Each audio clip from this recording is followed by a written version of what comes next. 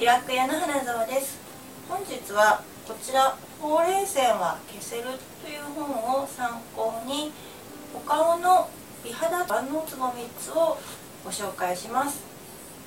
では万能ツボの3種類をご紹介する前に注意点を申し上げます、えー、スパイラル加工であるとか先が尖っているものは向いていません。標準的な先の丸い綿棒を使うようにしてください。そして持ち方は真ん中よりもやや上の方にこの親指と人差し指中指の3本で持って押すようにします。ツボに的確な力加減で押すことができます。でツボを押す際は鏡を見てください。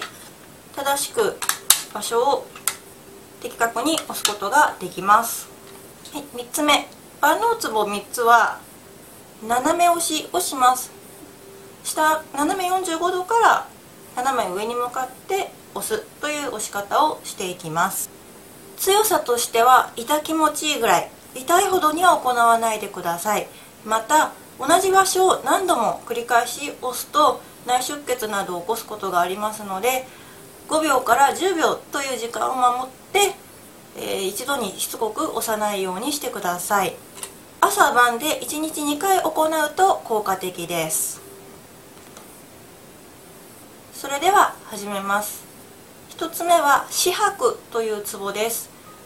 このツボは目の下、えー、目の中央瞳孔の部分から1センチほど下の頬骨の上際のところです。ここのツボを使用することによって肌の弾力がアップします。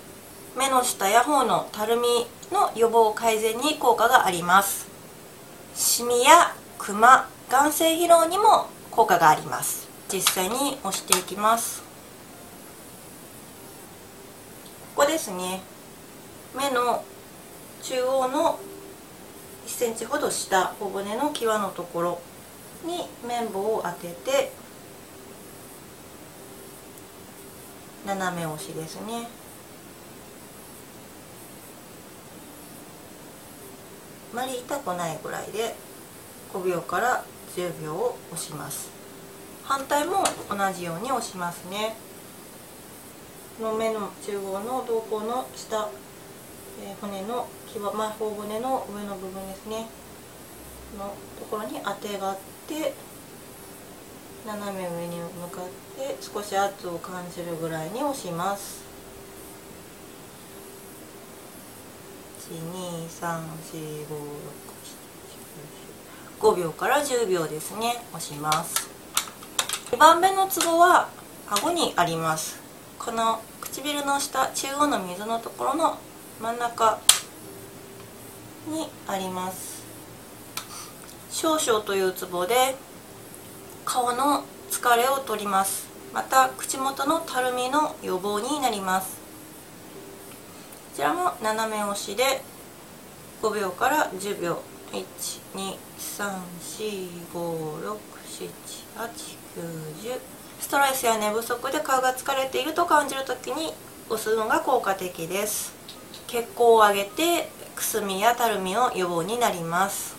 3番目は強者というツボですね。歯を食いしばった時に盛り上がる場所です。下顎の骨の端っこですね。今日のところです。の部分も斜め押しをします。12345678910秒。